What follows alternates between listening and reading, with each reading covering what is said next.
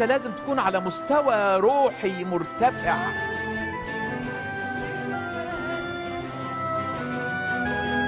أنت يا رب لسه موجود لسه بتحن لسه بترفع لسه بتشفي لسه بتشرق شمسك.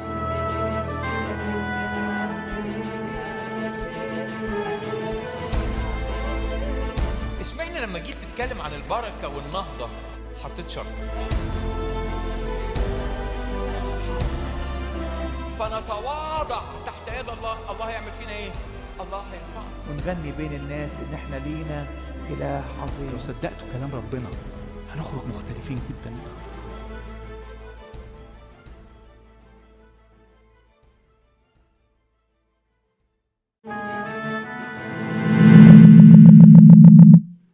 أهلا بيكم في محضر الرب. مبسوط كتير أن أكون معاكم. إحنا هنبتدي فترة التسبيح مع بعض. استاذنكم تفضلوا نقوم مع بعض في الوقت اللي جاي ونقرا مزمور 27 مزمور 27 وهنقرا من عدد واحد لعدد خمسة. مزمور 27 من عدد واحد لعدد خمسة. لو استاذنكم نقوم مع بعض نقرا كلمة الرب. مزمور 27 من عدد واحد لعدد خمسة. الرب نوري وخلاصي ممن أخاف. الرب حصن حياتي ممن أرتعب. عندما اقترب إلي الأشرار ليأكلوا لحمي مضايقية وأعدائي عثروا وسقطوا. إن نزل علي جيش لا يخاف قلبي. إن قامت علي حرب ففي ذلك أنا مطمئن. واحدة سألت من الرب وإياه ألتمس. أعمل إيه؟ أن أسكن في بيت الرب كل أيام حياتي. لكي أنظر إلى جمال الرب وأتفرس في هيكله. لأنه يخبئني في مظلته في يوم الشر. يسترني بستر خيمته على صخرة يرفعني. هو ده إلهنا. هو ده إلهنا اللي لما بيكون في وقت خوف أو قلق. باجي عنده. واجي عند رجلي. يقول يا رب واحدة سألت منك يا رب أن أسكن يا رب في الوقت ده معاك وأكون في علاقة حميمة والشركة معاك. هو يقول كده في الكتاب تطلبونني تجدون تطلبونني بكل قلوبكم. عايزين الوقت ده نطلبه بكل قلبنا نطلبه فعلا إن هو يكون حاضر في الوسط. اطلب الرب ادعوه فهو يكون موجود. آمين.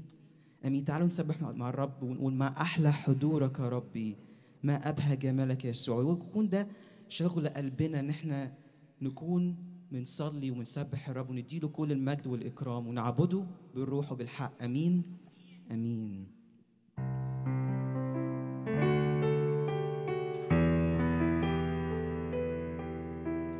ما أحلى حضورك؟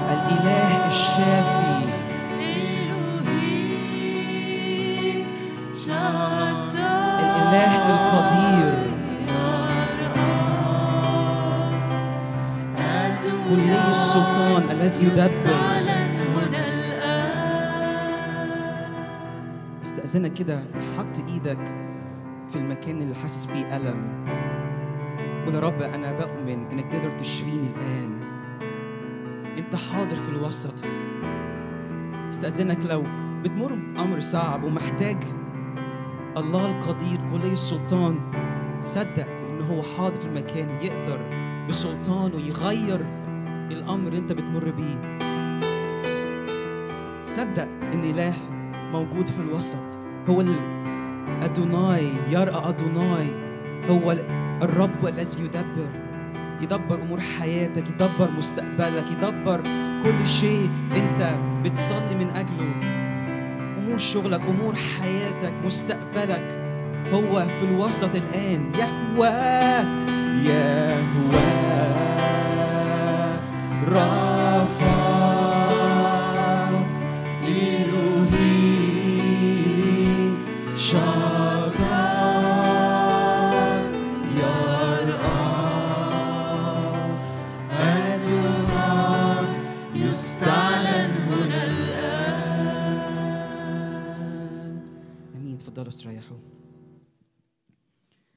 قلبي كده أشارك إن إحنا أم الشهر داخلين على أربعة وأربعة النهاردة 2024 إن سنة 2024 تكون سنة الأبواب المفتوحة. الرب يفتح بيبان سنة 2024 هل نؤمن بكده؟ أمين. يفتح أبواب خير أبواب رحمة. يفتح أبواب إحنا ممكن قفلناها في قلوبنا. الرب عايز يفتح المجال عايز يفتح المجال لأن هو الفتات مش كفاية. الفتات مش كفاية. جه الوقت إن إحنا نستقبل خبز البنين. المسيح جه اتصلب واتدفن وقام من الأموات علشان يدينا خبز الحياة علشان يغير حياتنا علشان يولد حاجات في حياتنا يدينا خبز الحياة لأن الفتات مش كفاية. تعالى كده نعلن سنة 2024 يا رب الوقت اللي جاي من أبريل لحد ديسمبر يا رب يكون وقت افتتاح الأبواب. أبواب السماء أبواب السماء. يا رب تيجي عندنا يا رب علينا على حياتنا على مستقبلنا على أولادنا. نؤمن بكده؟ نؤمن بكده؟ آمين؟ آمين. وأنا ليه أخاف؟ زي ما كنا بنصلي مزمور 27 إن نزل علي جيش لا يخاف قلبين قام علي حرف في ذلك أنا مطمئن. يا رب ادينا اللي انت اديت له لداوود إن رغم الظروف أنا مطمن آمين؟ رغم الظروف أنا مطمن. رغم المشاكل رغم الاقتصاد أنا مطمن. رغم الحاجات اللي بتحصل بره في المدارس أنا مطمن. انك أنت معانا. إحنا ملوك وكهنة. إحنا نقدر نفدي المسكونة. أمين؟ أمين. تعالوا نسبح مع رب مع بعض. نقول ملك الملوك سيد الأسياد. ليك السلطان وحدك. وأنا ليه اخاف قلوب الملوك في إيدك. جدول مياه. أمين؟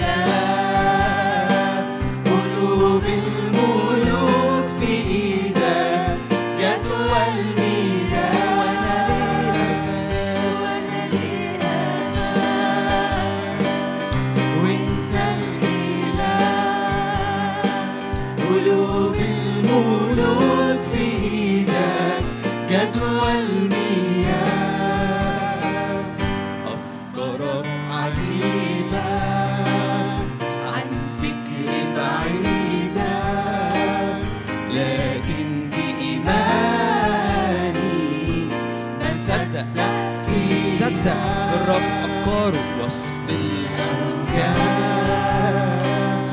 وفي الأتعاب تديني نور ونصرة. تنبأ. تفتح الابواب يا سيد أفكارك.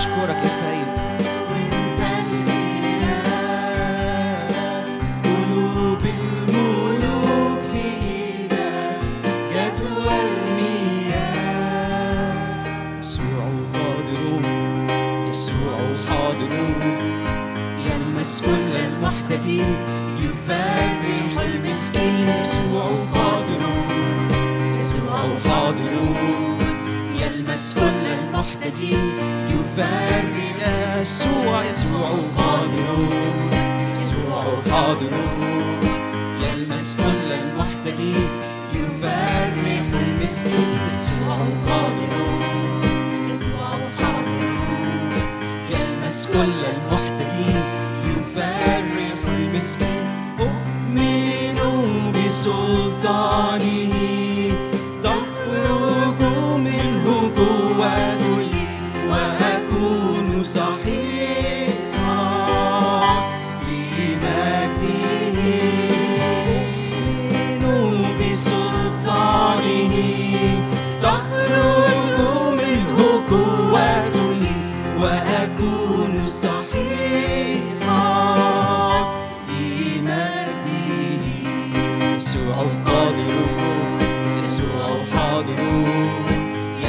كل المحتاجين.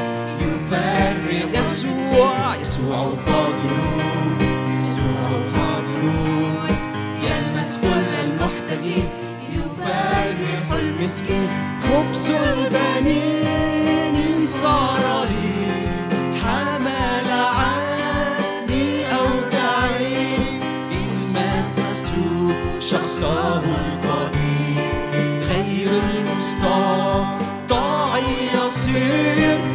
خبز البنين صار لي استقبل خبز البنين صار ليك وليا إن مسست شخصه القدير خير المستطاع يصير يشفيني يشفيني استقبل يشفيني يسوع المسيح. يشفيني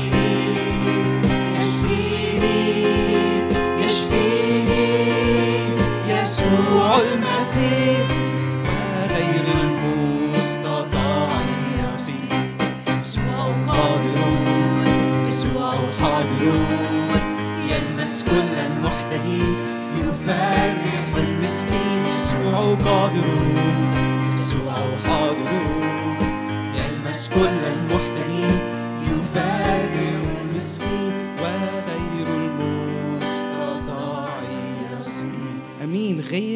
المستطاع عند الناس مستطاع عند الله. الترنيم الجاي كده عايزين نسبح الرب ونستقبل يسوع. تخيل كده معايا إن يسوع جه بيمشي حوالينا. هنرحب بيه إزاي؟ هنديله حضن. يا رب فاكر يا رب فاكر يا رب المعجزة اللي عملتها معايا. فاكر يا رب لما أنقذتني من الموت. فاكر يا رب تعالوا كده نسبح الرب ونديله كل المجد والإكرام والتسبيح. آمين؟ آمين. تعالوا نقول يسوع. يسوع. يسوع. يسوع يسوع يسوع يسوع من يسمع صرخة القلب الضعيف وحده الرب يسوع. من يكسر قيدي ويطلف النير وحده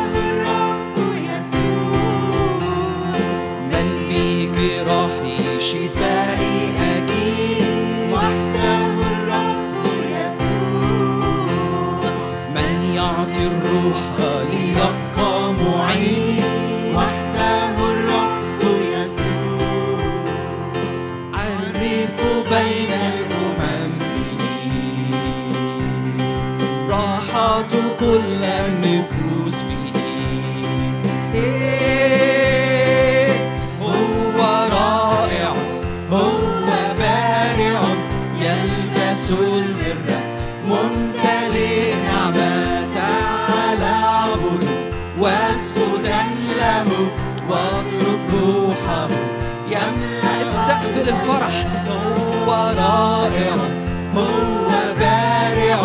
يلمس البر ممتلئ نعمة تعالى اعبده واسجدا له واترك روحه. يملأ قلبك. يسوع يسوع يسوع. يسوع. ما أبهاك ما أبهاك ما أروعك ما أشهاك أنت القدوس مستحق وحدك كل الكرامة والسوء. ما أبهاك ما أبهاك ما أبهاك. ما أروعك ما أشهاك أنت القدوس.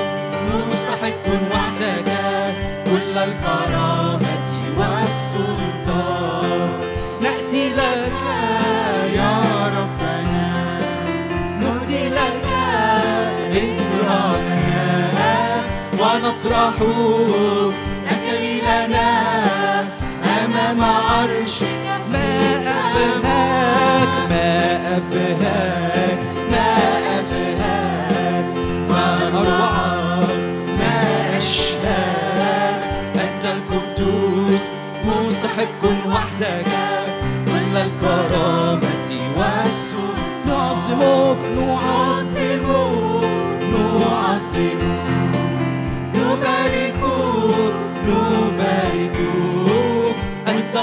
القدير رب مشير أنت العلي لا ما أبهاك. ما أبهاك ما أبهاك. ما أروعك ما أشهاك. أنت القدوس مستحق وحدك. كل الكرامة والسلطان يسوع يسوع يسوع. يسوع. يسوع الرب قد مالك فلنفرح به لأنه الرب تكلم بنور فلاش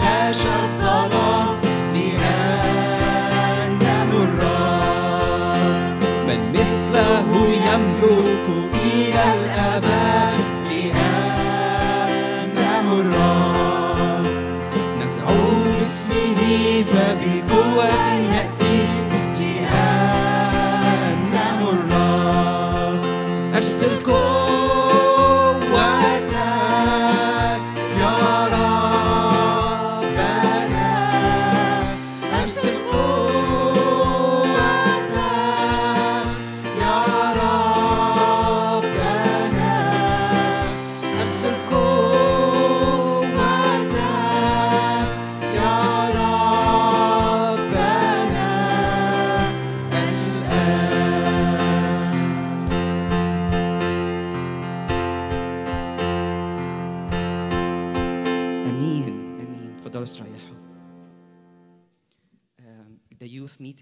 Have a skit for us so uh, they will come here and will do a skit for us for the Easter.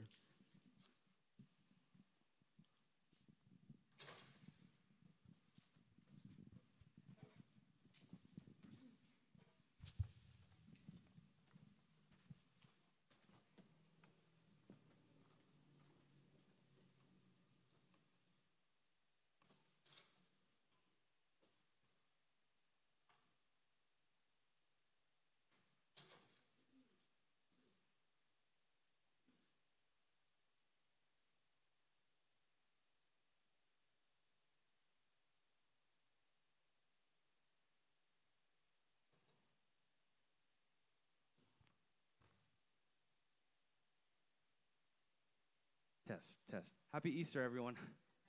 Part one, you know, until part two and on May 5th. I'm just waiting for everyone to come in.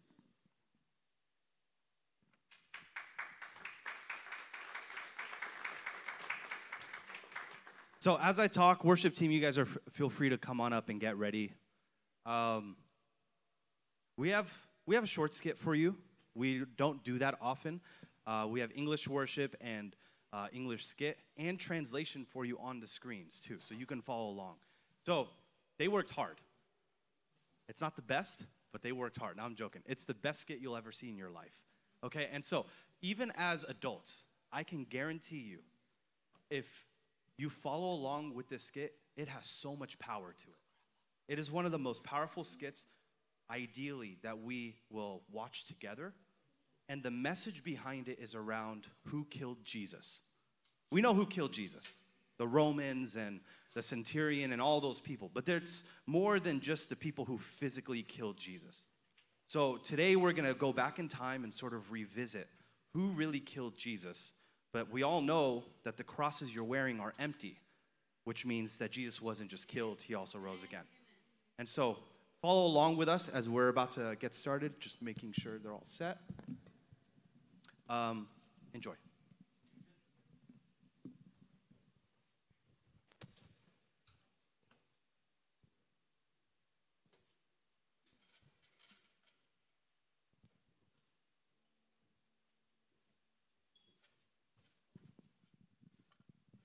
I'm a Roman centurion, and I killed him.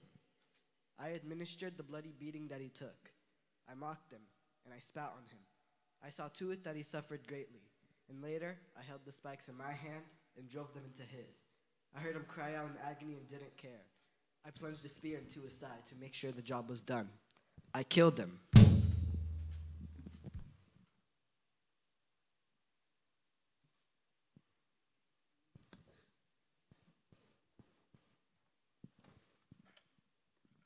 I am a Pharisee, and I killed him. I knew he was innocent, and I still killed him. He threatened the belief system we always had. He threatened my way of life. He threatened my influence and my power. So I made up charges against him. I stirred up a mob, and I brought many false witnesses. So I got the Romans to hang him up, hang him up on a tree. I killed him.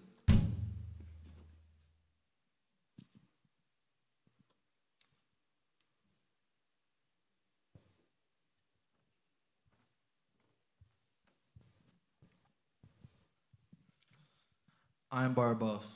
I am a thief.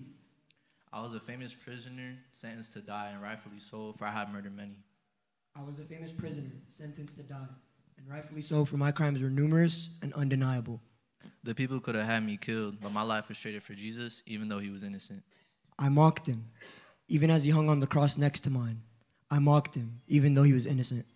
It could be said that his life was given for mine. It could be said that his life was given for mine. I killed him. My sin killed him.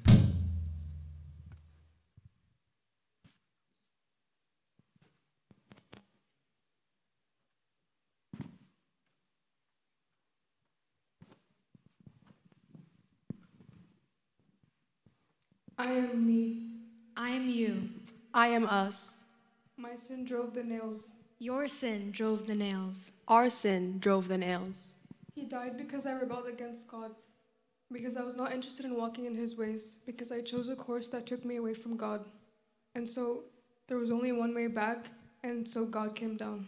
In the form of a man to serve the sentence, to die in your place, to endure sting after sting of your sin inflicted on his body, to be mocked by your sin again and again, to be spit on by your sin, right in his face again and again, and after all that, to take our sin upon his shoulders and stumble through the streets under the weight of it, to be stretched out across our sin and then nailed brutally to our sin until his blood poured like a river over our sin. That's why he came. I am me, and my sin killed him. I am you, and your sin killed him. I am us, and our sin killed him. I am a centurion. I am me. I am a Pharisee. I am you. I am Barabbas. I am a thief. I am us, and our, our killed him.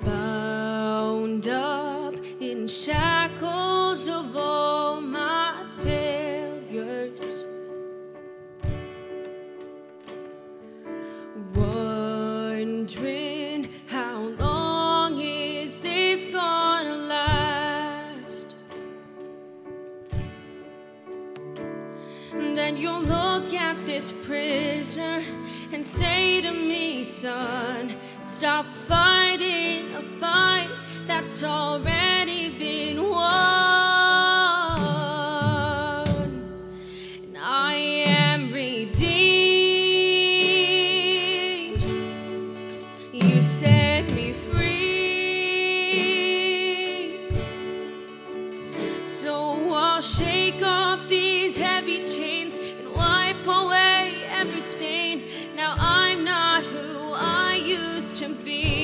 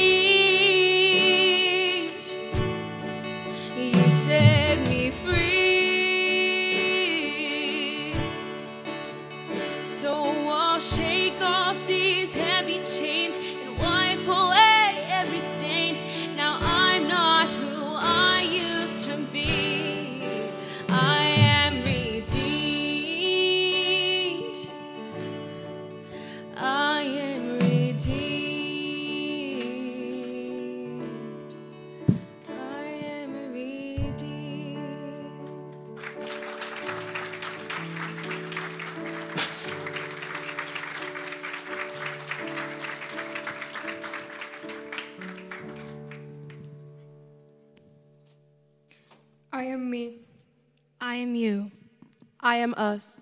And, he, saved us.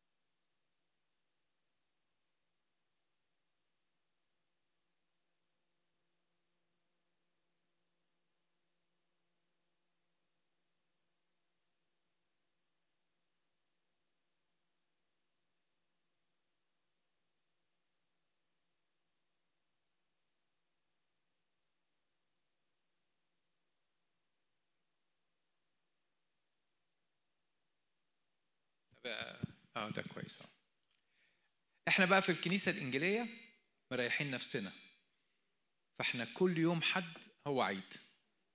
فإحنا إيه مش مستنيين العالم يحدد لنا أيام ولا حاجة. إحنا في الكنيسة بنؤمن ان كل يوم حد المسيح قام. آمين.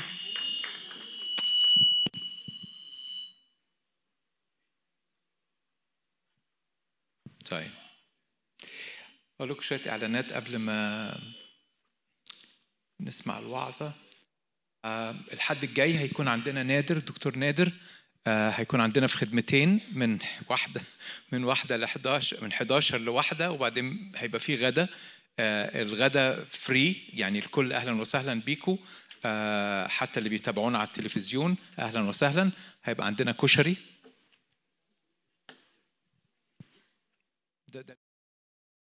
طيب. أوكي. لا أنا بوعدكم بلقاء حلو. هيبقى عندنا كشري وبعد كده هيبقى عندنا اجتماع صلاة. هو الاجتماع الثاني مش وعظ ولا حاجة. هي فكرة إن إحنا كلنا ككنيسة هنبقى بنصلي. آه، ماجد هيقود التسبيح في ال- في الفترة الثانية مع الدكتور نادر. وبعدين يوم الثلاث هيبقى عندنا اجتماع الصلاة هنعمله هنا في الكنيسة. فيبقى عندنا لقاءين الحد وال- والثلاث الحاجة الثانية اللي عايز أعلن عنها قبل ال ال الوعظة اشتغل. بجد.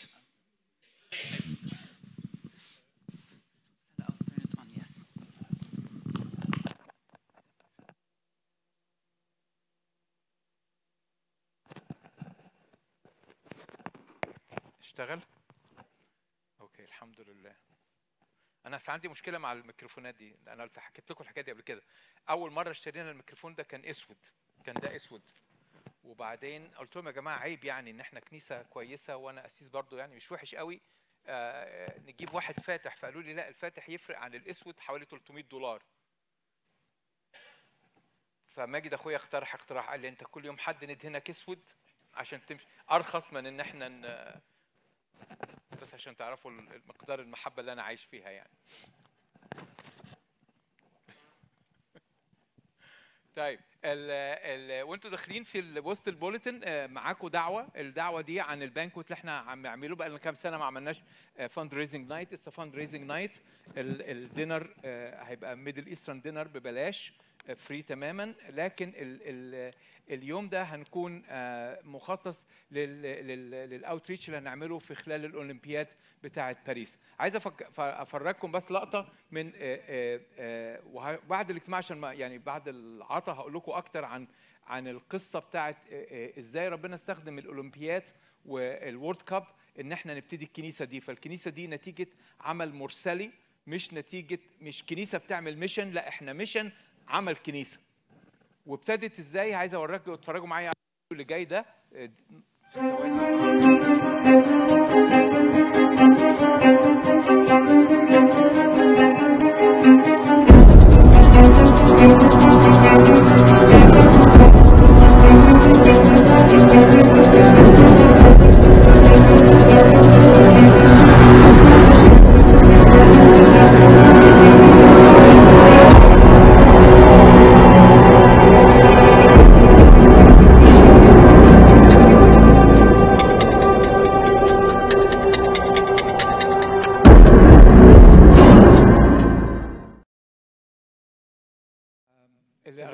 يعرفوش يعني إنه سنة 94 آه، كان كأس العالم لكرة القدم بيتلعب هنا في كاليفورنيا و...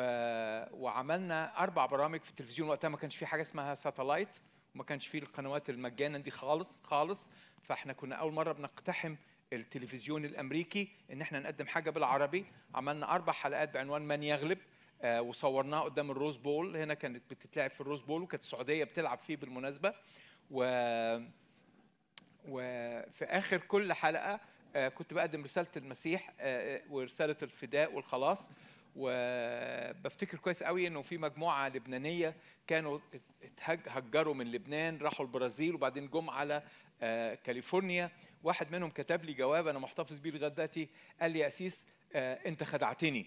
أنا كنت قاعد بتفرج على زي البرازيل جت تلعب في كأس العالم وفوجئت بنفسي في نهاية الحلقة راكع قدام التلفزيون بسلم حياتي للمسيح. ومن هنا ابتدينا نعمل بايبل ستادي للمجموعة اللي قبلت المسيح من خلال ال- البرامج من خلال البرامج دي. وبعدين مع واحد مع 95 ابتدينا الكنيسة اللي حضراتكم موجودين فيها. ف يعني كل الاخبار يعني الحكايات دي هنحكيها أكتر في يوم السبت آه، آه، 13 فأنا بشجعك إن أنت تسجل اسمك آه، آه، أو لو حد من بره عايز يحضر أهلا وسهلا آه، أهلا وسهلا بيكم. خلونا نصلي إن ربنا يدينا النهارده كلمة. النهارده إحنا داخلين في الجد. ثلاث الكنائس الأخرانيين من السبع كنائس فيها تحديات غير آه، عادية. فنطلب من عادل يجي يقودنا في الصلاة ويطلب بركة لينا والكل اللي بيسمع إن إحنا تكون لينا زي ما بيقول كل في نهاية كل رسالة من له أذن فليسمع.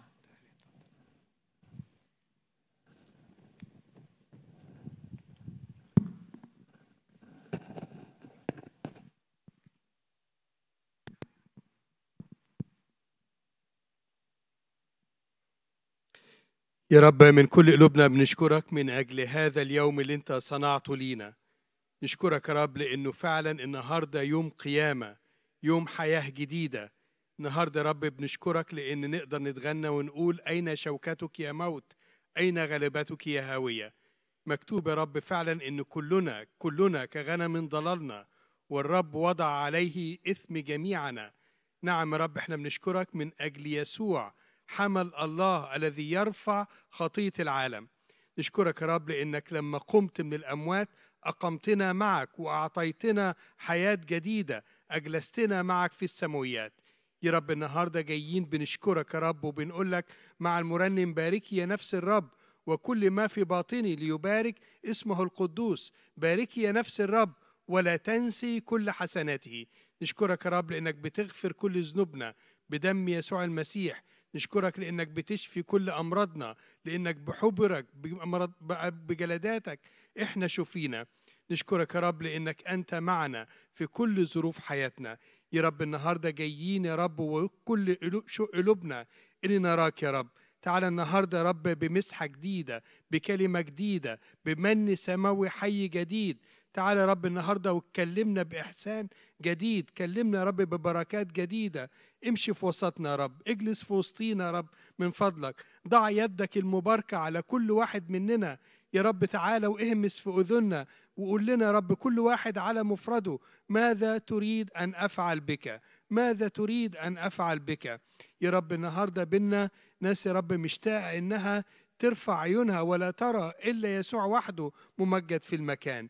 يا رب بركة للأسيس هشام مسحة خاصة يا رب كلام بالروح القدس يا رب. هيأ قلوبنا هيأ قلوبنا.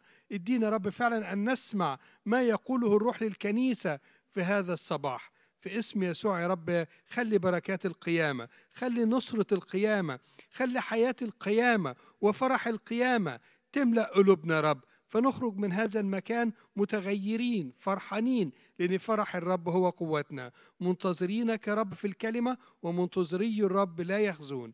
في اسم يسوع نصلي وليك كل إكرام ومجد. آمين يا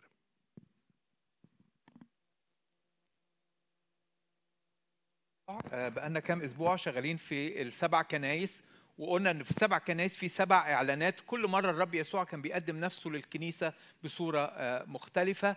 وبعدين في سبع تحديات. ابتدينا في إفسس لو حضراتكم تفتكروا لما قال له عندي عليك أنك تركت محبتك الأولى. الكنيسة الأولى اللي بيكتب لها المسيح كنيسة كانت بتحب الرب قوي ومع الزمن فترة المحبة دي. وبعدين دخلنا على الكنيستين اللي بعد كده. قال له أنت ساكن أنت عندك تعاليم الشيطان. وبعدين فجأة مش اتنقل من تعليم للشيطان. قال له أنت ساكن حيث كرسي الشيطان. النتيجة دي أنتجت الأسبوع اللي فات لما كنا بنتكلم عن كنيسة ثياتيرا الكنيسة اللي بقت بتمثل بتلعب كنيسة بتلعب كنيسة. الناس بتيجي يوم الحد منتظرة الستارة تتفتح واحد هيرنم واحد هيصلي واحد هيوعظ وبعد ما تقفل الستارة رجعنا زي ما إحنا. كنيسة بتلعب تمثيلية. النهاردة بقى داخلين على كنيسة صعبة قوي. كنيسة صعبة قوي وهي كنيسة ساردس خلونا اوريكم كنيسة ساردس خلونا اتفرجوا معايا على الفيديو ده اللي جاي عن كنيسة ساردس وبعدين نشوف ربنا عايز يقول لنا إيه. أحبائي في كل مكان صباح النعمة أو مساء النعمة على حسب الوقت اللي أنت بتشوفني فيه دلوقتي. إحنا واقفين دلوقتي في بلد اسمها ساردس الكنيسة اللي في إصحاح ثلاثة أول كنيسة من في اصحاح ثلاثة من الكنائس السبعة اللي بعت لها الرسول يوحنا. وزي ما أنتم شايفين إحنا أنا هدف الرحلة دي كلها ان أنا بقدم برنامج بعنوان الحجارة. الحجارة تتكلم فالحجارة اللي واقفة دي وبالمناسبة المعبد بتاع أرتميس اللي هنا هو أول معبد يتبني بالرخام الكامل. عشان كده البلد دي كانت بلد غنية جدا جدا جدا. وبالمناسبة ساردس هي أول مكان يحصل فيه صك للعملة في التاريخ. فعشان كده المكان ده كان مركز اقتصادي آه، آه، آه، رهيب آه، جدا. وإذا كنا إذا كنا شفنا في كنائس اللي فاتت تدخل الدين مع السياسة وكرسي الشيطان فالنهاردة ده كرسي من النوع تاني هو كرسي محبة المال وكرسي ال ال ال ال ال القوة اللي بتيجي من ال- المكان اللي بيمتلك المال.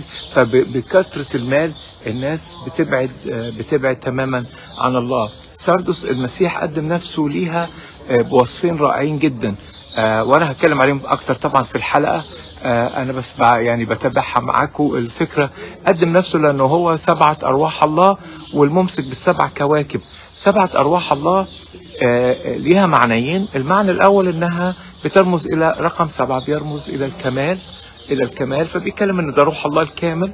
وبعض المفسرين بيقولوا إن هو بيرجع لاشعيا لما بيتكلم عن روح القوة والفهم والمشورة والإعلان. لكن بيقول هنا هي فكرة إنه بيعلن إنه ال ال ال ال قوة الروح القدس ضد قوة المال.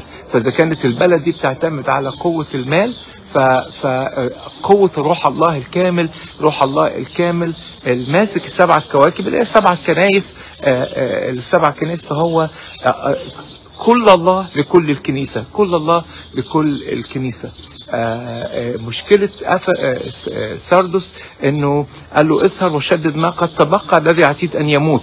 في ناس بتبتدي مع المسيح بقوة وبتبتدي مع المسيح بعلاقتها مع الله والملء بالروح القدس بقوة وبعد كده بتنتهي بتنتهي إنها بتفتر تفتر تفتر تفتر فبيقول له اصحى واسهر ما اسهر وشدد ما قد تبقى. لأن ده عتيد أن يموت. لو هتفضل سايب نفسك لحالة الفتور والبعد عن الله ده اللي هيحصل. آه طبعا بس عايز أختم ال- ال- الشورت فيديو ده معاكم وأقول لكم إنه إنه آه، وانت بتقرا السبع كنائس بتفتكر إن السبع كنائس جنب بعض. أنا بس عايز أقول لكم إن إحنا بقالنا ثلاث أيام بنسافر ثلاث أيام بنسافر في ثلاث يعني بيتنا في ثلاث أماكن مختلفة.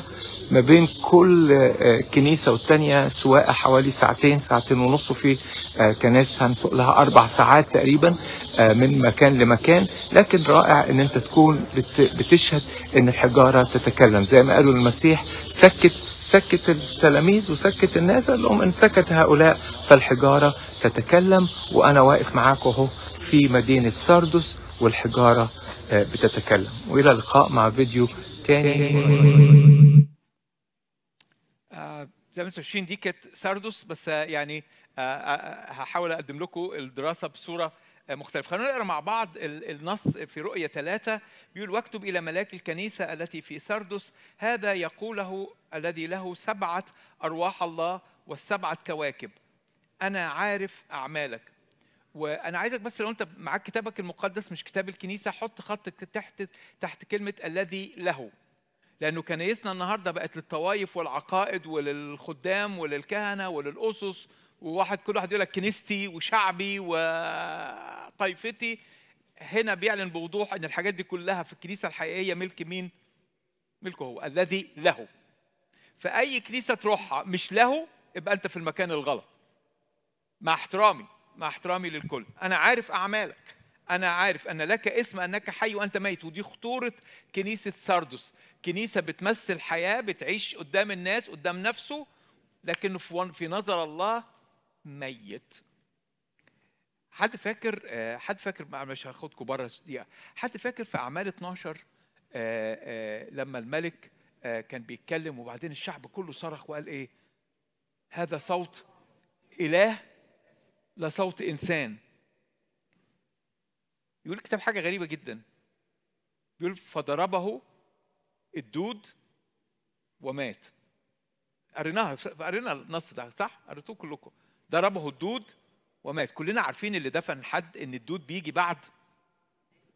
يعني ده يقول لك ده داود يعني مات وأنتن وداود الراجل ده كان حي. صح؟ له اسم أنه ده الناس بتقول له ده أنت ربنا ده أنت زي ربنا. لكن ضربه الدود معنى إن ضربه الدود وهو حي إن هو كان في نظر الله من الأساس إيه؟ أبقى أحكي لكم بعد كده الدود ده جه منين؟ الدود ده آه، آه، ال- الدود ده أغلب المفسرين بيقولوا انها دي الدودة الشريطية اللي بتبقى في في الأمعاء وفي الكبد وفي الحاجات دي وبيبقى فيه زي cyst كده زي آه، بيسموه إيه cyst بالعربي؟ كيس زي كيس مية كيس كده جوه فالكيس ده ممكن لما ينفجر يبقى فيه مثلا ألف دودة. وال- والدود ده بقى قوي جدا إنه عشان كده كان بيتألم جدا وهو بيموت لأنه الدود ده لما انفجر جواه بقى بياكله وهو حي. وهو حي. بس أنا أنا افتكرت ده وهو بيقول لك اسم أنك حي. الناس بتقول عليه إله وهو أصلا في نظر ربنا مدو يعني مدو كن ساهرا عدد اثنين كن ساهرا وشدد ما بقى الذي هو عتيد أن يموت. لأني لم أجد اعمالك كاملة أمام الله. فاذكر كيف أخذت وسمعت وأحفظ وتب فإن لم تسهر أقدم أقدم عليك كلص. ولا تعلم أي ساعة أقدم عليك. عندك أسماء قليلة في سردس خد بالك إنه في كل مرة يقول له عندك أسماء قليلة اتنجسوا تبعوا تعاليم الغرب تبعوا تعاليم النقلويين عندك المرة دي العكس. عندك أسماء قليلة هي اللي لسه حافظة. الإيمان. متابعني؟ عندك أسماء قليلة في سردس لم ينجسوا ثيابهم فسيمشون معي في ثياب بيض لأنهم مستحقون. من يغلب فذلك سي- سيلبس ثيابا بيضا ولن أمحو اسمه من سفر الحياة وسأعترف باسمه أمام أبي وأمام ملائكته. من له أذن فليسمع ما يقوله الروح للكنيسة. سردس سردس كانت عاصمة في مملكة قديمة كان اسمها مملكة ليديا وزي ما أنتم سمعتوا كانت المملكة دي مملكة مشهورة قوي وكان فيها أول مرة يعملوا مصلحة سك العملة ويبتدوا يحطوا صور الإمبراطور على على العملة وبقت حاجات مشهورة قوي. واختاروا في مملكة ليديا اختاروا ساردس لأنها مبنية على جبل عالي قوي. فقالوا إنها المدينة التي لا تخترق. عارفين اللي راح فيكم الصين أسوار الصين سور الصين العظيم صعب أنك تطلعوا يعني فقالوا إن ما فيش جيش ممكن يحارب سردس ويقدر يطلع كجيش يهاجم البلد. فاختاروا سردس بأسوارها بمكانها العالي ده علشان تبقى العاصمة التي لا تخترق عاصمة ما حدش يقدر يقرب لها. الشيء الغريب قوي إن العاصمة دي اخترقت مرتين. مرة على قد على يد كورش ومرة على قد ملك تاني اسمه أنتيخوس واللي هزم المدينة دي كلها ووقعها عسكري واحد. عسكري واحد تسلق مش الجيش. تسلق لقى العساكر اللي واقفين على الحدود ما إحنا بقى لا نخترق إحنا إحنا بتوع ربنا إحنا كبار. ولما تنام الكنيسة تقع. لما نام الحراس العسكري ده قدر يدخل والناس نايمة فتح الأبواب الجيش كله دخل بسهولة وصحي الصبح لقوا نفسهم محتلين. وكأنه ربنا بيقول له خد بالك وده اللي هنتكلم عليه أكتر ما بيقول له اسهر وشدد بيقول له خد بالك أنت بلد احتليت احتليت مرتين بسبب نوم الحراس. نوم الحراس. سور الصين العظيم برضو يعني وقع مرة بس بقى مش بسبب النوم بسبب الرشوة. تقرأ عنه في التاريخ إنه إنه ضحكوا على عسكري من اللي واقفين وادوا له رشوة وقدر الناس تخترق سور الصين. بس ساردس كانت مدينة على, على عالية جدا يعني ممكن تبقى روحيا مرتفعة جدا وكل حاجة بس once إنك تنام روحيا أنت بتدي فرصة لعسكري صغير يوقع البلد يوقع البلد كلها. عشان كده ربنا؟ بيقدم وصفه للكنيسة دي بيقول له هذا يقوله الرب الذي له سبعة أرواح الله والسبعة كواكب. زي ما قلت لكم حط خط تحت كلمة له. له نحن له. إحنا بتوعه. إحنا ملكه. ككنيسة وكأفراد وكعائلات إحنا ملكه. ويوم ما بتبتدي تفكر إنه أنا ملك نفسي أنا أنا صاحب الفكرة أنا صاحب القرار أنا والذات بتاعتنا تكبر يوم ما أنت بتقطع العلاقة بينك وبين الله. وياما كنايس كتيرة قوي. ليها اسم إنها كنيسة ليها اسم إنها حية. بس ميتة لأنها مش للرب مش للرب. عشان كده ربنا في المسيح كان وهو بيتكلم مع الكنيسة دي كان بيعالج خطية كبيرة هي خطية التدين التدين الروحي. وأكتر مصيبة إحنا عايشين فيها في هذه الأيام هي مصيبتنا مش مع الخطاة الأشرار اللي بره مع المتدينين اللي جوه. والمتدين يعني في مرة كنت في مكان و, و, و في بلد وكانوا عاملين أكل صيامي للي صايمين وأكل فطاري للي فاطرين وهم كانوا فردين بس فردين بس اللي صايمين عن كل المجموعة. وبعدين جات لي مرات واحد منهم قالت لي أسيس قول له ياكل. فبقول له ما بتاكلش ليه؟ ما ده في ترابيزة صيامي مخصوص. قال لي أنا أضمن منين إن السكينة اللي قطعت بيها مش عارف إيه ما ما ما عدتش على سكينة تانية على تانية كان فيها. وأنا أنا صعقت من الرد. أنا صعقت من الرد. قلت له أنت متخيل إن ربنا سايب الكون ده كله؟ وقاعد عشان يبص على السكينة لمست إيه قبل ما تخش بطنك. ده يبقى ربنا يعني آه إيه؟ بس هو ده التدين. التدين إنك خايف من الحرف أكتر ما أنت بتخاف الله. قادرين تفهموا الفرق بين الاثنين أنت خايف من الحرف أنت خايف لألا تكون حصل. ده التدين. التدين بيحافظ على الشكل العام. بس ما يهموش. عشان كده لما يقول الكتاب في كذا مرة هذا الشعب يكرمني بشفتيه أما قلبه فمبتعد. المصيبة مش إن أنت بتحافظ على ال- ال- الحدود دي المصيبة إنك ما تكونش عايش الحدود دي. عشان كده بيقدم نفسه بيقدم نفسه بيقول الذي له سبعة أرواح الله. وزي ما أنا سمعتوني اللي هو الروح الكامل كمال الله وكمال روحه مقدم بالكامل للكنيسة. وله سبعة كواكب. سبعة كواكب اللي هم في أغلب المفسرين بيقولوا إن سبع كواكب هم سبع رعاة الكنايس وده طبعا أسهل حل لأنه كل ما تحصل مصيبة تقول الأسيس إحنا مالنا؟ ملاك هذه الكنيسة. اخفيه. اخفي عبدك. خلاص. يعني. طيب. بصوا بقى أنا عايز أقول لكم كمان روح الله بيعمل إيه؟ في اشعيا 11 لما بيكلمنا عن ويحل عليه. ويحل عليه عشان كده بيقول الذي له الذي يحل عليه. روح الرب روح الحكمة والفهم روح المشورة والقوة روح المعرفة ومخافة الرب. خلوني اقف هنا لحظة. إحنا كانجليين أنا بتكلم على المشيخين أي حد تاني يسامحني في اللي أنا أقوله. في الانجيليين المشيخين إحنا قعدنا سنين طويلة بنخاف نتكلم عن الروح القدس لأنك وانس إنك تقول الروح القدس يقول لك إيه الاسيس عايزنا نتكلم بألسنة الاسيس عايزنا. ن... نعمل نبوات الأس... يا عم يا عم أسوأ ما في الدنيا إن إحنا حدينا الروح القدس في مواهب. اسمعوني كويس الله يخليكم أنا عارف إن أنا على الهوا. اسمعوني كويس. اوعى تحد الروح القدس في المواهب. الروح القدس يعطي مواهب. لكن الروح القدس أعظم جدا. انت بتتكلم على الأقنوم الثالث على روح الله. ومين فينا مين فينا ما ما يبقاش أمنية حياته إنه يوميا يمتلئ بالروح؟ لو الروح اداك بصوا يوم الروح يديك موهبة من المواهب دي صدقني مش هتعارض لأنها أنت هتبقى عارف إنها جت من الروح. عشان كده لما بيتكلم بيقول يحل عليه روح الرب الذي له سبعة أرواح الله السبع أرواح بتاعت روح الله الكامل ممكن يكون للكنيسة وممكن يكون ليك. مين فينا ما يحتاجش إنه يصحى الصبح يقول له يا رب أنا عايز روح الحكمة؟ في وسط قرارات عمالين ناخدها كل يوم. مين فينا ما يصحاش الصبح يقول يا رب أنا عايز روح المشورة؟ مش عارف أروح هنا ولا أعمل إيه. مين فينا ما يصحاش الصبح يقول يا رب أنا عايز روح القوة والمعرفة؟ روح الحكمة روح المخافة. أنا عايز أعيش النهارده في مخافتك. أنت لما بتتكلم عن الملء بروح الله المواهب جزء منها زي ما ثمر الروح جزء منها.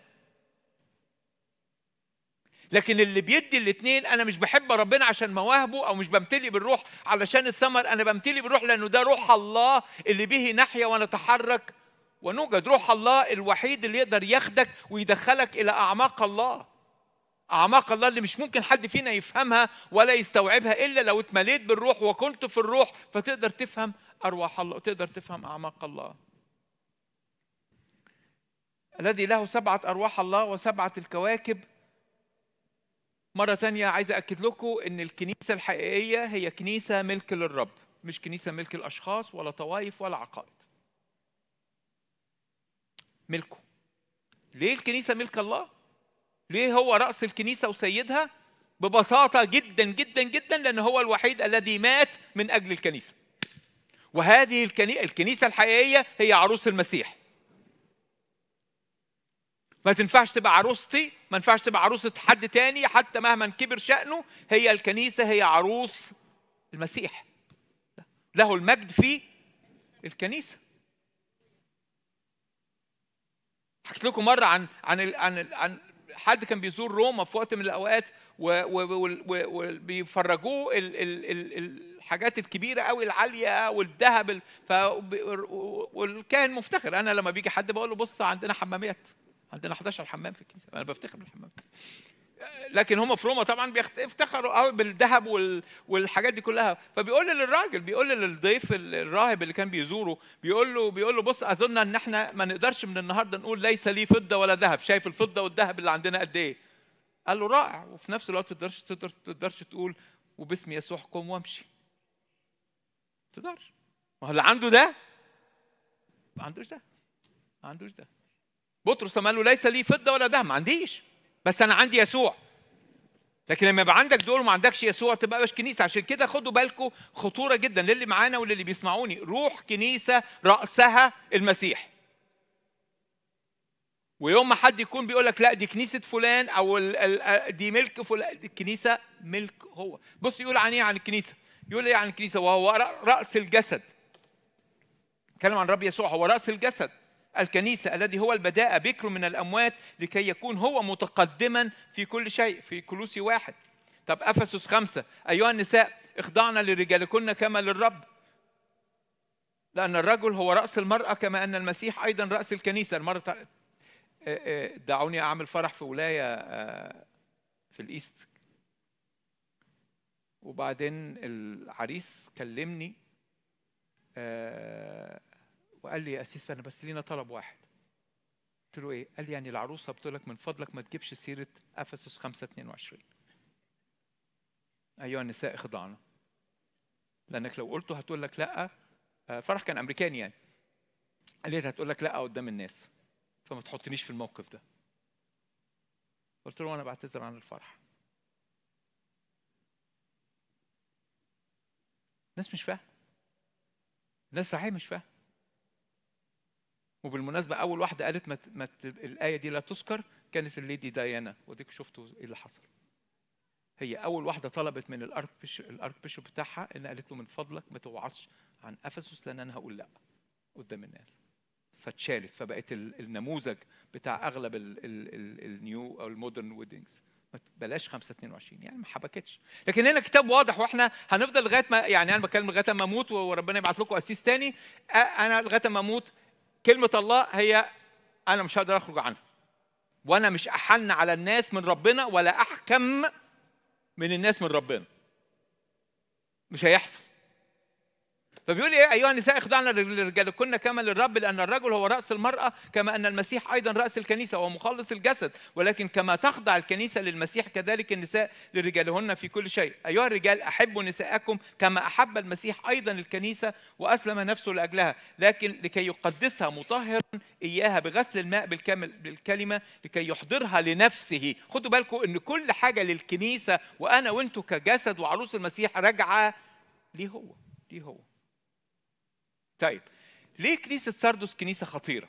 بصوا بيقول له إيه؟ أنا عارف أعمالك ودي تخوف. بيقول له أنا شايفك. بيقول لي يا هشام أنا شايفك. شايفك في البيت وشايفك في الشارع شايفك في مخدعك شايفك في في في مشيك شايفك في ردودك على الناس شايفة في انفعالاتك اللي محدش تاني شايفها أنا عارف أعمالك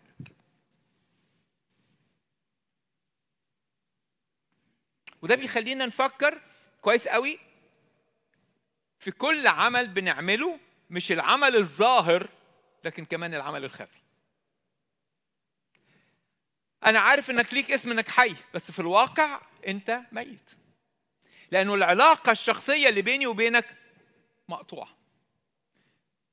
يا عم إزاي ده عايش؟ فاكرين الابن الضال لما أبوه رجع يقول افرحوا معي لأن ابني هذا كان مع إنه هو كان ميت هو كان عايش وبياكل خرنوب مستمتع بالخنازير والراجل كان آخر تمام كان عايش. كان في وجهة نظر اللي حواليه حي. كان في وجهة نظره نظره النفسي أنا حي. لكنه في وجهة نظر الآب اللي بيدور مش على إنك بتتنفس وتاكل وتشرب في وجهة نظر الآب العلاقة عشان كده النهارده لو أنت بتتفرج عليا لو أنت قاعد في الكنيسة النهارده النهارده يوم إنك ترجع مرة تانية حي. مرة تانية. وبيقول للكنائس كتيرة أنا عارف إن عندك مباني رائعة وخطيرة ومباني ضخمة وعارف أنا عارف كل ده بس ده ميت أنت ميت. أنا عارف إن عندك أنشطة كتيرة قوي وبتساعد الفقراء وبتعمل وبتعمل وبتعمل بس أنت ميت. أنا عارف إن الناس شايفاك حي بتتحرك وبتتكلم لكنك ميت. لأن اللي أنا بدور عليه مش أنت بتعمل إيه بره أنا بدور عليه العلاقة الشخصية اللي بيني وبينك. لك اسم أنك حي وأنت ميت.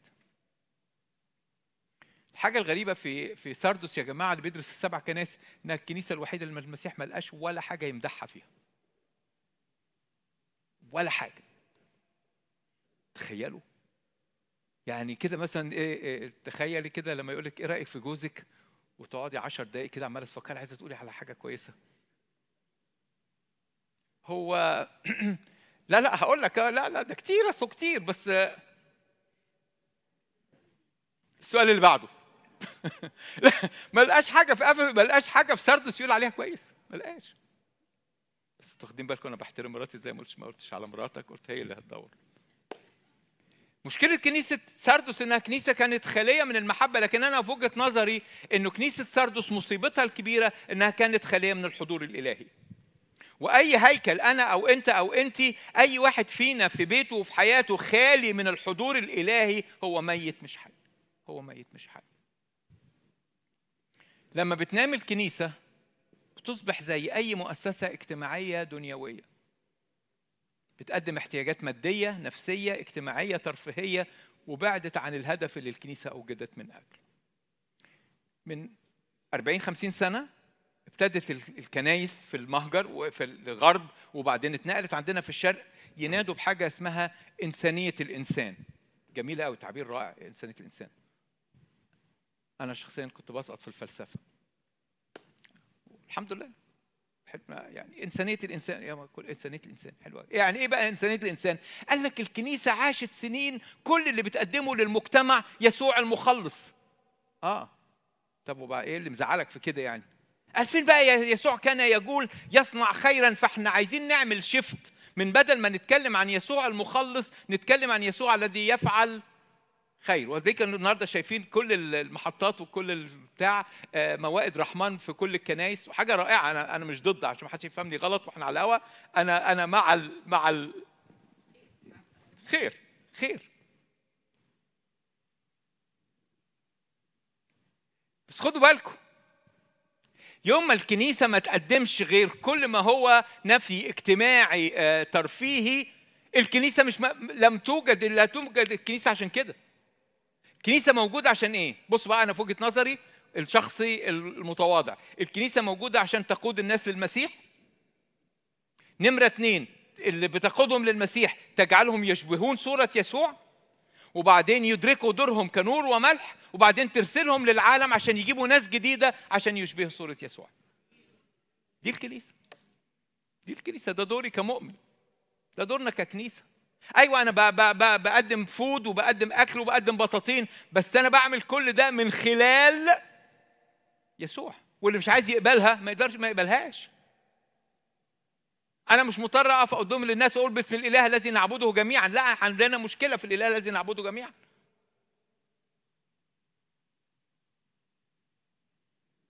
ما تزعلوش مني. انا ربنا بتاعي. بقالي 4 بقالي 40 سنة قسيس ربنا بتاعي اللي أنا بحبه اللي أنا بخدمه اللي أنا مستعد أموت دلوقتي عشانه هو أبو ربنا ومخلصنا يسوع المسيح. أي رب تاني ما عندوش ابن اسمه يسوع المسيح أنا ما أعرفوش. ما تجبرنيش إن أنا أقول أي حاجة عشان أرضيك. وأنا هدخل بعد كده إزاي إحنا الكنيسة بتتحاول إنها ترضي المجتمع. أنا مش محتاج أرضي المجتمع. أنا محتاج حضور يسوع حقيقي. لأنه لما يسوع كان موجود صار خوف في كل نفس. لما يسوع مش موجود بقت الكنيسة هي اللي خايفة من كل اللي حواليه من كل اللي حواليه. يبقى أربع حاجات عشان برضو لو نسيتوا الوعظ. إحنا دورنا إن إحنا نجيب ناس للمسيح نجعلهم مشابهين صورة المسيح نجعلهم مدركين لدورهم كنور وملح نرسلهم للعالم ليكرزوا بالإنجيل فيجيبوا ناس مرة تانية ليسوع المسيح. لك اسم أنك حي. أنت بتقول إيه عن نفسك؟ إزاي أنت شايف نفسك؟ أنا شايف نفسي أحسن قسيس في الدنيا. أنا شايف نفسي أجدع مرنم أنا شايف نفسي أحسن مش عارف إيه أنت شايف نفسك حي. طب الناس بتشوفك إزاي؟ لأن ده اللي بيخطر في بالنا تاني أهم حاجة الناس شايفاني إزاي؟ بس هو السؤال الأصعب ربنا شايفك إزاي؟ ربنا شايفك إزاي؟ ربنا شايفك إزاي؟ كيف يراك الله؟ بصوا يعقوب بيقول آية حلوة قوي بيقول لكن يقول قائل أنت لك إيمان؟ وأنا لي أعمال. أرني إيمانك بدون أعمالك. وأنا أريك بأعمالي إيماني لأن إيمان بدون أعمال ميت. حتى لو كان اللي بيعملها له اسم أنه حي. أنتوا معايا؟ واحد تاني يقول لك أنا عايش في الكنيسة ليل نهار. أنا بدافع عن الإيمان. أنا ده أنا حتى ممكن أقتل ناس عشان عشان إخواتي وعشان العقيدة. لكن بلا ثمر.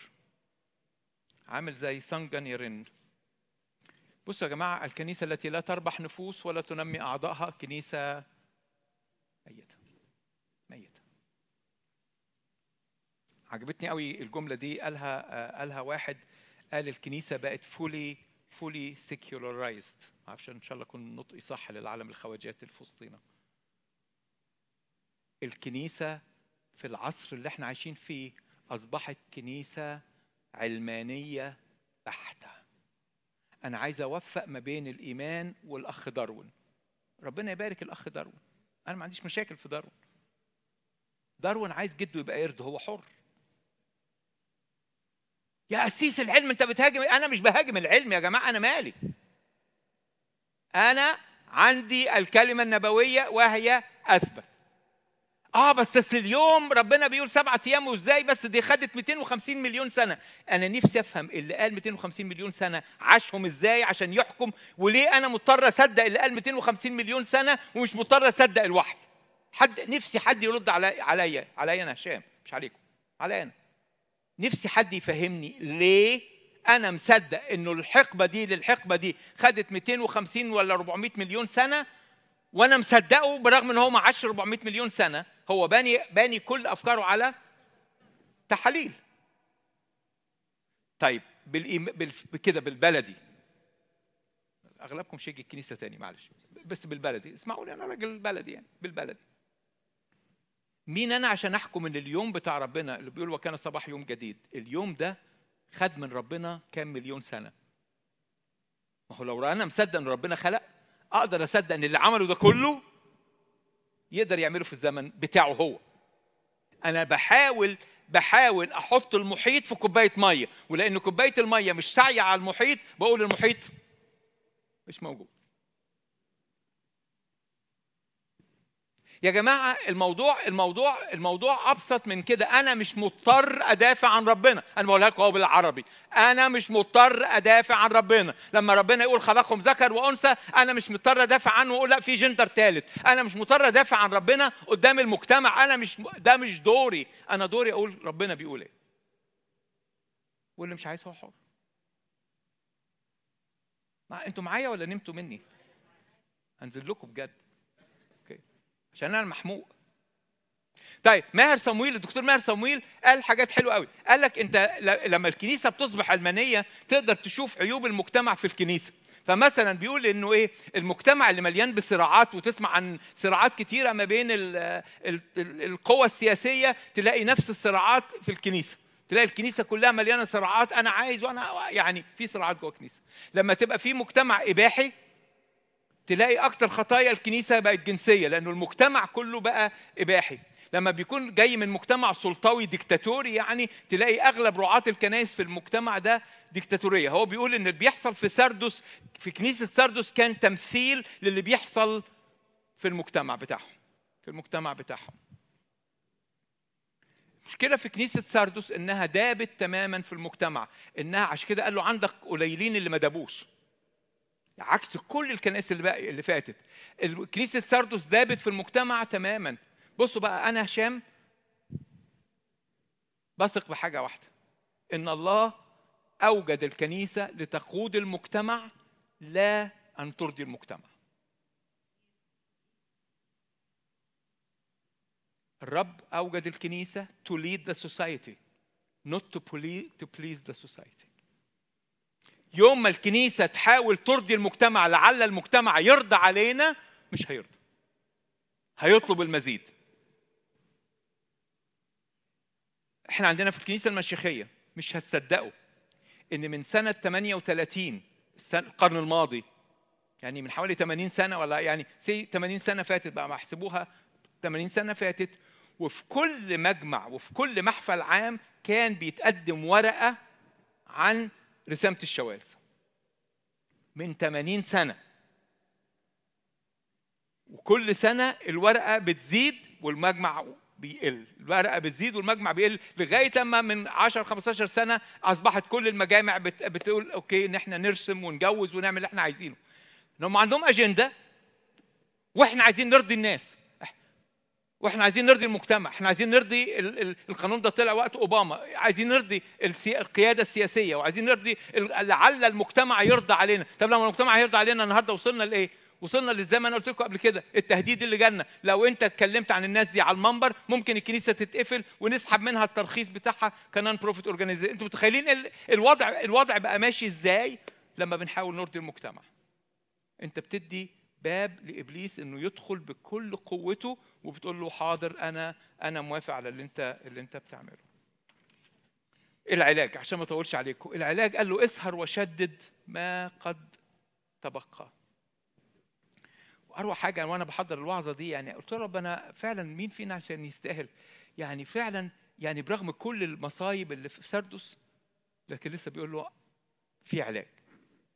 يعني فعلا حاجة رائعة إن ربنا بيعود ويصنعنا وعاء آخر ما بيرميش الطينة دايما كانت روزينا تقول لي آه يعني ليه ترضى إن كل شوية رب تقع وبعدين يحطك؟ طب تخضع من أول مرة. عارفة كم واحدة بتحط على الدولاب الفخاري ويقع وبعدين تعمل. بصوا بصوا المسيح يقول إيه؟ قصبة مرفوض مردودة لا يقصف. يعني حتى لو أنت النهاردة قاعد في الكنيسة ولسه عندك فتيلة جزء من اختبارك بتاع 20 سنة فاتت لسه موجود جواك. محبة قديمة كانت لربنا خدمة كنت بتعملها بشوق وحسيت إنه مع الزمن كل ده ابتدى يروح. الرب النهارده بيقول لك أنا حتى الفتيلة المدخنة دي ما بتضيعش. قصبة مردودة لا يخسف وفتيلة مدخنة لا يطفأ حتى يخرج الحق للنصر. طيب عايز أقف معاكم عند كلمة ما تبقى.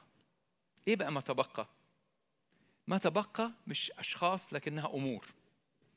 ما تبقى أسهر وشدد ما قد تبقى. مش بيتكلم على العشرة اللي لسه ما تنجسوش. بيتكلم على حاجات.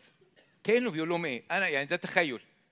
كانوا بيقولوا أنت يا كنيسة يا مؤمن كنت زمان قوي مؤمن بالصلاة. فاكر كم فاكر لما سلمت حياتك للمسيح الجديد؟ وكنت بتقعد بتصلي وتقعد وقت وتبقى فرحان قوي بالرب وجايب كراسة تكتب أنا النهارده طلبت من الرب والرب استجاب. فاكر لما كنت بتعمل كده؟ وبعدين مع الزمن مع الزمن مع الزمن بقيت بتصلي لما لما عيالك يكسفوك يقول لك ده تصلي على الأكل. فبيقول له بص اسهر وشدد ما قد تبقى أنت لسه الفتيلة بتاعت إنك الصلاة دي لسه موجودة. حاول تنهضها. فاكر لما كنت بتقعد تدرس الكتاب وتخطط بأحمر وده وعد وده آية وده بتاع وتحضر درس كتاب وتحضر؟ فاكره يا كنيسة لما كنا بنعمل درس كتاب وكنا وكنا وكنا؟ آه بقى بس بقى الزمن كلنا اتشغلنا وكلنا ما عندناش وقت ومش هنسوق وما عندناش وقت لده كله. بيقول له اسهر وشدد ما قد تبقى. اللي هو عتيد إنه كمان يحصل إيه؟ يقفل تقفل اجتماع الصلاة وتقفل اجتماع درس الكتاب وبتاع. قالوا فاكر لما كنت بتخرج كرازة في الشارع و و و و و, دلوقتي بقيت مهتم بالأنشطة والمباني والسياسة والمؤامات ومش عارف إيه. لسه فاصل. حاجة بسيطة. حاول إنك تشدد اللي لسه فاضل في حياتك الروحية. قال له اسهر وشدد ما قد تبقى دي هو عتيد. اللي هو عتيد إنه دي عامل زي الشمعة. عارفين الشمعة اللي خلاص بتطفي؟ الشمعة اللي بتطفي. بيفكرنا ده بمثل العذارة. فاكرين العشر عذارة؟ يقول الكتاب عنهم نعسنا جميعا ونمنا لكن خمسة كان معاهم الزيت. عشان كده لما لما في يعني في عدد 11 بيقولوا وبعد حين رجعت العذارى الأخريات وقلنا يا سيد يا سيد افتح لنا فأجاب العريس الحق أقول لكم لكنا ما اعرفكش ما أعرفكش ما أعرفكش ما أعرفكش بص اللي بيحب يصور أو ياخد ال- البتاع بص الايه دي عن السهر بيقول في مرقس 14 يقول لي اسهروا وصلوا لئلا تدخلوا في تجربة الصلاة والسهر تخليك تبقى محمي من التجارب يرجع مرة تانية في مرقس 13 يقول لهم انظروا اسهروا وصلوا لأنكم لا تعلمون متى يكون الوقت. اسهر وصلي. في عدد في كورنثوس الأولى 15 يقول اصحوا للبر ولا تخطئوا. be alert اصحى. كلمة بي اصحى معناها be alert بالظبط. be alert. في بطرس الأولى يقول إنما نهاية كل شيء قد اقتربت فتعقلوا واصحوا للصلوات. إحنا معانا مريم مش موجودة. مريم مريم يوم الثلاث تخش وتقعد تلف على كل الكنيسة. اجتماع الصلاه بدا اجتماع الصلاة بدا اجتماع الصلاة بدا تعقلوا واصحوا للصلوات. تعقلوا واصحوا للصلوات. بطرس الأولى خمسة يقول إيه اصحوا واسهروا. دي آيات كتير قوي الكتاب مليان آيات عن الصحيان والسهر بس أنا حبيت آخد أربع خمس حاجات تهمنا في حياتنا الروحية. اصحوا واسهروا لأن إبليس خصمكم كأسد زائر يجول ملتمسا من يبتلعه.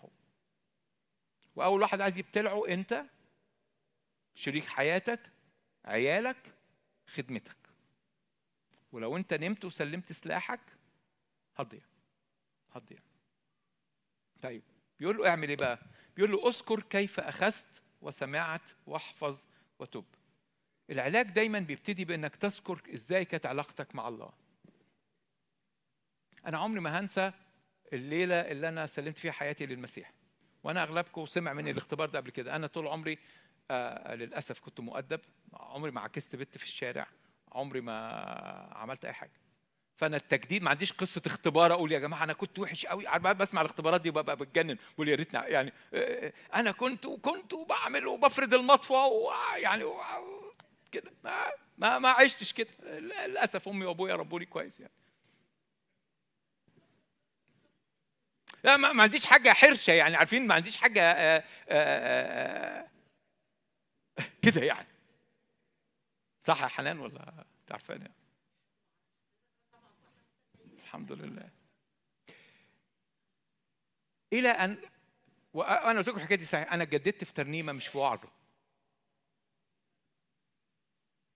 كنا في اجتماع شباب كنيسة الجيزة الإنجيلية وكنا بنرنم الترنيمة بتاعت مولاي قد سفينتي في بحر شدة الحياة وازرع في قلبي سيدي كل البذور المنتقاه والقائد قال جملة واحدة فرقت في حياتي. قال مين بيقود سفينة حياتك؟ مين اللي قاعد في بداية المركب؟ مين اللي ماسك الدفة؟ إذا أنت اللي ماسك الدفة تأكد إنك هتخبط في حيطة. حتى مهما كنت ماهر لكن لو سلمت حياتك للمسيح هو هيقود دفة حياتك. وده الليلة اللي أنا ركعت فيها وسلمت حياتي فيها للمسيح. تبقى فرحان بتبقى فرحان. بتبقى عايز تعيط بتبقى عايز كمية كم هائل من الشعور اللي بيخش في حياتك لما تسلم حياتك للمسيح. وبعدين لما بقينا بروفيشنال مؤمنين المشاعر دي كلها راحت فين؟ ما بقتش تهزنا يعني خلاص. عشان كده بيقول له أذكر كيف أخذت العلاقة ال- العلاج علشان تبقى تبقى مش ح... تبقى مش ميت تبقى حي. إنك تفتكر أيام ما كنت حي. زي الابن الضال لما رجع وقال كم اجير لأبي يفضل عنه الخبز وأنا أهلك اقوم وأرجع؟ لما رجع إلى نفسه. وفي الوقت اللي إحنا عايشين فيه الدنيا صعبة قوي كلنا مسحومين جدا وكلنا جداولنا مليانة وكلنا ساعاتنا آه، مليانة بحاجات كتيرة قوي ما بقاش عندنا دقيقة كل واحد فينا يقعد مع نفسه. عشان كده بيقول أذكر أذكر أذكر. أذكر إزاي بداية علاقتك مع الله كانت. أذكر أذكر التعليم اللي أنت اتعلمته. أذكر الإيمان اللي أنت حفظته والكلمة المقدسة. يا جماعة ببساطة النهارده لو أنت عايز تنسى كل الوعظ أنا بقول لك النهارده زمن توبة ورجوع من الموت لرجوع للحياة.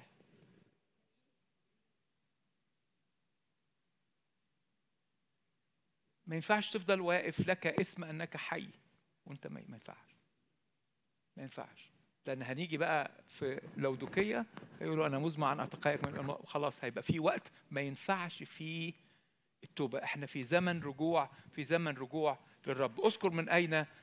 بصوا بصوا في تثنية ستة يقول له اسمع يا إسرائيل الرب إلهنا رب واحد فتحب الرب إلهك من كل قلبك ومن كل نفسك ومن كل قوتك ولتكن هذه الكلمات التي أنا أوصيك بها اليوم على قلبك وقصها على أولادك. إحنا ساعات بنقعد نحكي لاولادنا زمان لما شفت أمك كانت عندي العربية اللي هي بتتجر دي بنحكي لعيالنا. نجاحاتنا ده أنا موتت نفسي في الدراسة في الجامعة ده أنا عملت ده أنا عملت أول آه، أول خمسة ساغ إزاي؟ بنحكي لهم إيه؟ هنا هنا هنا بيقول له بيقول له خد بالك لو أنت عايز تعمل ناس صح اسمع يا إسرائيل اتذكر اللي انت سمعته الرب إلهنا رب واحد حب ربنا من كل قلبك من كل في نفسك من كل قوتك والكلام اللي أنا بوصيك بيه كلام ربنا مش كلام العالم ولا كلام الفلسفات ولا كلام العقائد كلام ربنا آه، قصها على أولادك. ولما تقعد تتكلم اتكلم بيها. أنا ياما ناس بتقول لي يا أسيس لما العيال بيجوا لو جيت بس أقول لهم ربنا يقول مام هنمشي. dad إحنا صح؟ مش دي الأجيال اللي إحنا من زمان سيبنا لهم الحبل. النهارده إحنا بندفع الثمن مش عايزين يسمعوا. مش عايزين يسمعوا. أنتوا دقة قديمة. أنتوا culture تقول له يا عم ده مش culture ده ملكوت الله. ملوش دخل بال culture عشان كده بيقول بيقول بيقول للعيله بيقول للعيله بيقول للعيلة قصها على أولادك. تكلم بها حين تجلس في بيتك وحين تمشي في الطريق وحين تنام. لأن هو قال له في ناموس الرب يلهج. وأنا قاعد مع عيالي وأنا قاعد مع في البيت وأنا قاعد أنا بتكلم بكلام بكلام ربنا. اربطها علامة على يديك ولتكن عصائب بين عينيك واكتبها على قوائم أبواب بيتك وعلى أبوابك. فالناس لما تدخل البيت ده مش مسموح له إنه يقول نكت خارجة ولا يقول قصص خارجة ولا يقول حاجة خارجة لأن البيت ده متحوط من أول الباب عليه ال- الوصايا من جوه الباب ما بنتكلمش غير عن ربنا. أنا مش محتاج أرضي الزبون اللي جاي يزورني. أنا مش محتاج أنكر ال identity بتاعتي كابن لله علشان أرضي صاحبي اللي مش بير... اللي مش بيؤمن بالله. يا قسيس وسط كده هنبان إن إحنا مش عارف ما- نبان. بس خد بالك أقول لكم حكاية لسه سامعها النهارده. إذا ما قابلتش المسيح وما ساعدتش الناس انها تقابل المسيح على الأرض كمخلص وتاخد منه الخلاص هتروح تقابله هناك ومش هيبقى قدامك غير القصاص. فلو انت بتحب حد قدم له الخلاص. خليه يتقابل مع المسيح المخلص مع المسيح المخلص. إن لم تسهر هقدم عليك كلص. وده مش بيتكلم عن المجيء الثاني بيتكلم عن زيارة افتقادية. مرة قال لأفسس قال له فاكرين لما قال له هاجي وأزحزح؟ ونرتك في رسالة تحذير ليه؟ لأن ربنا لسه باقي عليا وعليك وعليكي بس ليه تستنى لغاية ما الإيد تبقى تقيلة؟ ليه؟ ليه تستنى لغاية ما عيالك يقعوا تحت فخ التأديب؟ ليه؟ ليه؟ الزيارة دي مختلفة ليه عن المجيء الثاني؟ بصوا إيه اللي هيحصل في المجيء الثاني؟ آه بيقول يعني بيتكلم بيقول ولكن لا يخفى عليكم هذا الشيء الواحد أيها الأحباء أن يوما واحدا عند الرب كالف سنة وألف سنة كيوم واحد. لا يتباطأ الرب عن وعده كما يحسب قوم التباطؤ لكنه يتأنى علينا وهو لا يشاء أن يهلك أناس بل أن يقبل الجميع إلى التوبة ولكن سيأتي كلص في الليل. هيجي رب ال- اليوم هيجي هو محدش عارف عند عندش عارف هيجي إنهي إنهي إنهي. بصوا في بطرس الثاني يقول تزول السماوات بضجيج وتنحل العناصر محترقة وتحترق الأرض والمصنوعات التي فيها فبما أن هذه كلها تنحل ده اللي هيحصل في المجيء الثاني إن ال- الأرض كلها هتروح. لكن الزيارة اللي بيتكلم عليها أنا زيارة افتقاد جاي بيقول لك يا ابني فوق يا ابني أنا مش عايزك تفضل ميت أنا مش عايزك تفضلي ميتة أنا عايز أرجع مرة تانية العلاقة اللي بيني اللي بيني وبينك. عشان أختم معاكم في ثلاث بركات الرب بيديها في سردس. للي مش هيتنجس. قال له عندك قليل اللي ما تنجسوش. نمرة واحد هيعترف بيه أمام الآب والملائكة. نمرة اتنين لن يمحو اسمه من سفر الحياة. نمرة ثلاثة هيمشي معاه في ثياب بيض. ثلاث بركات أروع من بعض. وعشان كده قال اللي هيعترف بيا على الأرض أنا هعترف بيه في السماء. اللي هينكرني على الأرض جود لك الحاجة التانية قال لن يمحو اسمه من سفر الحياة. وأنا عايز أقول لكم بس إيه في سفر الحياة ده تقرأ عنه كتير أوي في سفر الرؤيا بس أول مرة سمعنا عن سفر الحياة دي لما التلاميذ رجعوا ليسوع. وقالوا له يا معلم إيه مش هتصدق اللي بيحصل معانا؟ قال لهم إيه؟ قالوا له ده إحنا لما لما بعتنا نبشر باسمك يعني اللي اللي شفي واللي خف واللي واللي قبلك واللي بتاع ده حتى الشياطين كانت تخضع لنا ده إحنا إحنا في قمة مش عايز- عايزين إيه تاني؟ تخيل كده بقى شياطين بتخضع بالاسم ناس بتخلص وبتشفى.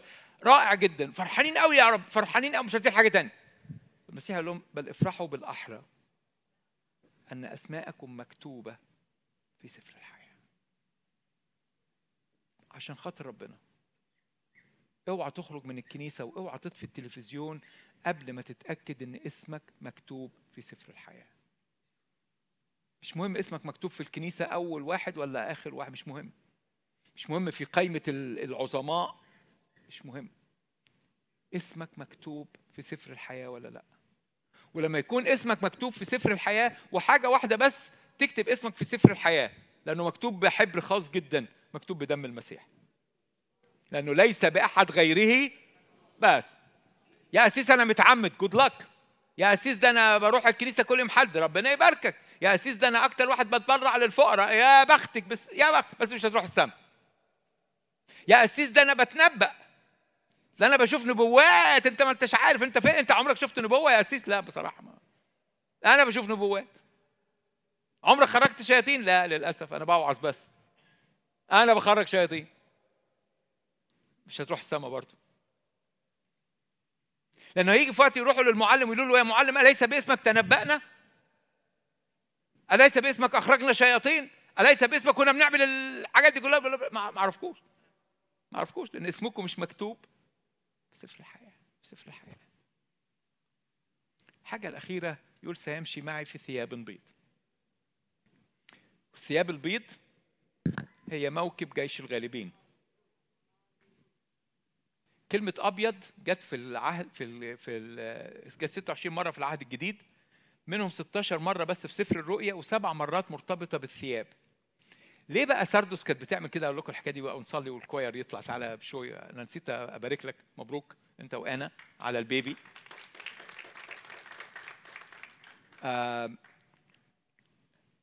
كانوا كانوا أنتوا معايا؟ البيبي هيجي. لا اسمعوا الحكاية دي. كانوا بيعملوا سبق أيام سردس كانت الرجالة فيها بتجري عريانة علشان ما فيش أي حاجة تعوقها إنها تنتصر. واللي بيوصل لخط النهاية بيلبسوه ثوب أبيض. عنوانه إنه انتصر. عشان كده بيقول له ثيابا بيض فلا تظهر خزي عورتك. مين اللي هيتغطى؟ اللي منتصر. عشان كده بيقول اللي هيغلب هيمشي معي في ثياب بيض. انت متغطي ببر المسيح ومتغطي لأنك في جيش الغالبين. في جيش الغالبين. الأبيض دايما بيشير للنقاوة والطهارة والغلبة والانتصار وثياب العروس. العروس العروس لما بتبقى في يوم فرحها بتلبس أبيض وده الكنيسة محتاجة تعمله إنها تكون عروسة مهيئة مزينة لرجلها. بس ده بيبدأ بإيه؟ بيبدأ بدلوقتي لما قالوا في اشعيا هلما نتحاجج؟ يقول الرب. إن كانت خطاياكم كالقرمز النهارده ربنا يقدر يحولها لأبيض. ومن يغلب هيعترف بيه هيكتب اسمه في سفر الحياة هيمشي في ثياب بيض. خلونا نصلي خلونا نصلي. كوير يطلع. صلي. اسأل بس نفسك سؤال واحد. أنا لو أنت نسيت كل الوعظة اللي أنا قلتها النهاردة ما يهمكش. اسأل نفسك سؤال واحد. يا ترى أنا اسمي اتكتب في سفر الحياة ولا لأ؟ يا ترى يا ترى أنا أنا لو غمضت عيني أنا اسمي حي ولا اسمي ميت؟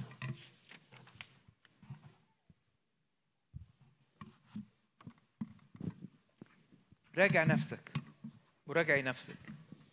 تذكر. تذكر. اللي انت اتعلمته من وانت صغير. تذكر مشاعرك لما قبلت المسيح لما غفر خطاياك. تذكر عهودك ليه تذكر عهودك لما لما وعدته إنك تعيش له إنك تكرز بيه إنك تحبه من كل القلب. تذكر تذكر.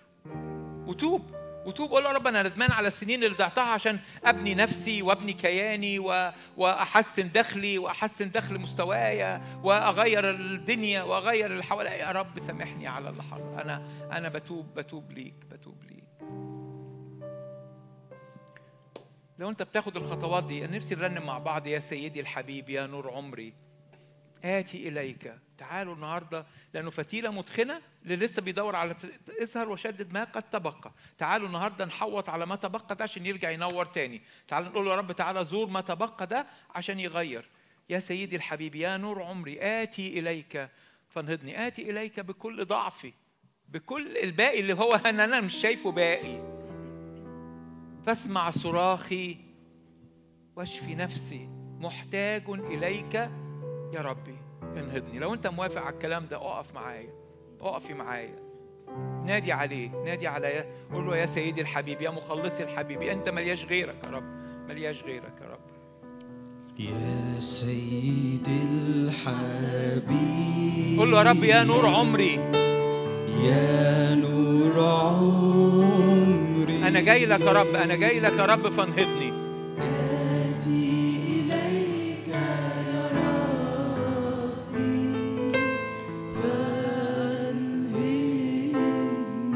تانية مرة تانية يا سيدي الحبيب. يا سيدي الحبيب يا نور عمري آتي إليك يا ربي فانهضني اعترف آتي إليك بكل ضعفي أنا ضعيف يا رب.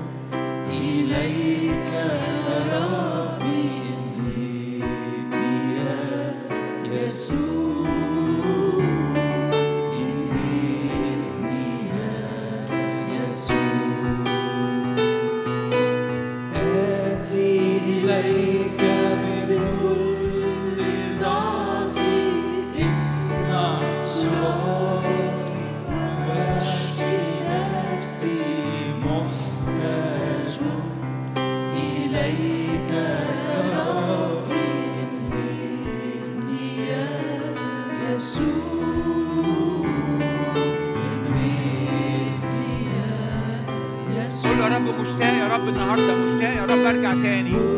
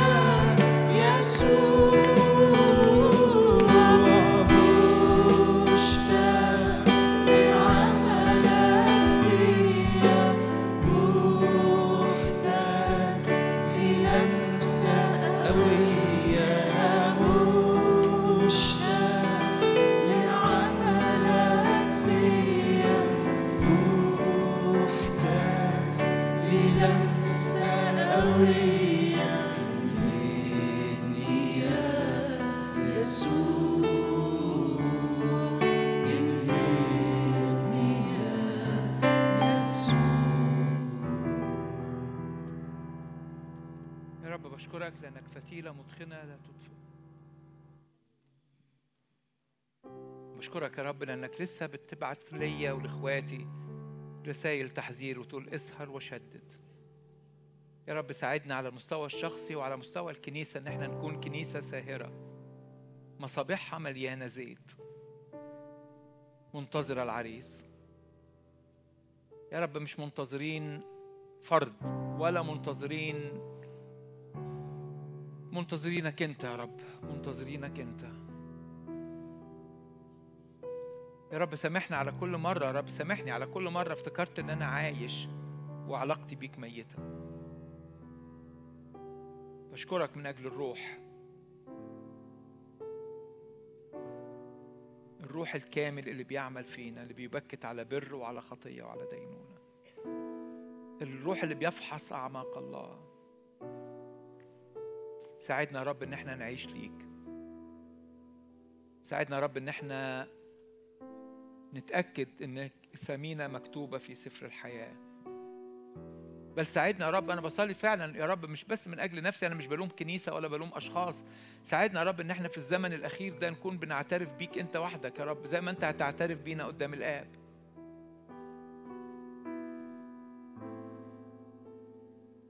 ساعدنا يا رب إن إحنا نكون مهيئين إن إحنا نلبس. يا رب كلمة صعبة بتقول لأنهم مستحقون أن يمشوا معي. يا رب مين فينا مستحق أن يمشي معاك يا سيد؟ إلا بالبر اللي أنت وهبته لينا. بشكرك من أجل ثياب البر. إدينا يا رب إن إحنا نحافظ على نقاوة هذه الثياب في اسم المسيح.